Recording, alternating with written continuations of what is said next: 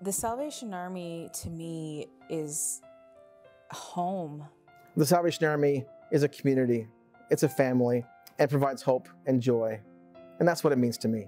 When I was looking for a home church, a place to do ministry, I wanted it to look like Jesus. And the things I came to were caring for the poor, caring about holiness. And that's what the Salvation Army is all about. That's what excites me about um, ministry in the Salvation Army is that it is, there's no limit to it. It's in every possible opportunity and privilege we have connecting with others. The Salvation Army means expressing the love that God has shown to me through Jesus. Salvation Army means for me hope because I wasn't born here in Canada, right? So as a child, I was sponsored, grown up Salvation Army, and I know the benefits of that. And I guess that's why I say hope, but it's hope is not sufficient enough to explain. To me, Salvation Army means relationship. It means building trust. It means being a safe place for everybody in our communities. It means walking alongside, sharing the love of Jesus, and being that transforming influence. It's my hope and desire that those who walk through our doors will know the love of Jesus Christ by what we can share with them. I can do all things through Christ who gives me strength. Just trusting in all areas of my life that He is leading me and guiding me. Really learning about who I am as a confident woman of God.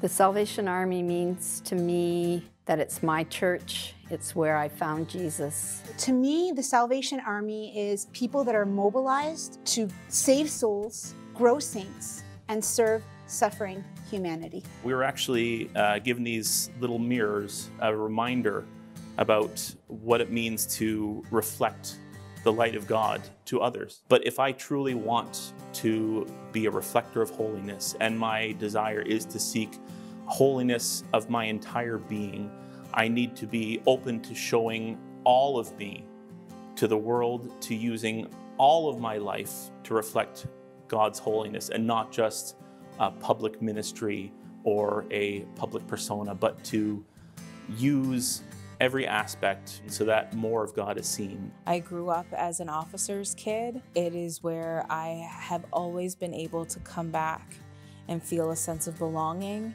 and feel a sense of comfort. I have a place here. It really is home for me. I hear God's voice. He speaks to me and he speaks to me so clearly and, uh, and I know which way to go. Think of what you were when you were called. Not many of you were wise by human standards. Not many were influential. Not many were of noble birth.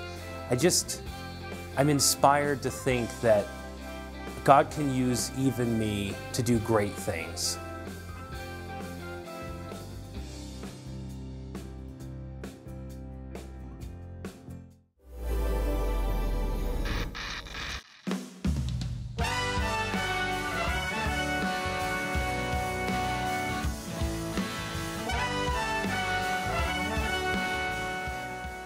I'm excited about my mom becoming an officer because it gives her a new experience. I'm happy for her on a whole because, you know, it's a, it's a fun thing to do and, you know, it opens up a lot of new, exciting adventures.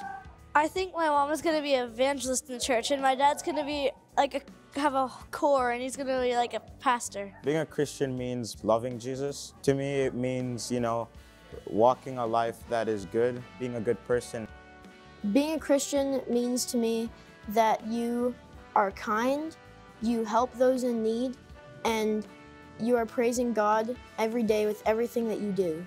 I love Jesus because he loves everyone equally in the whole entire world.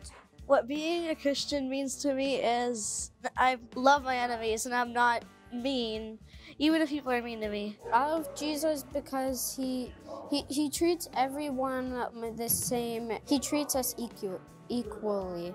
Being a Christian means being protected by God and also dedicating yourself to God.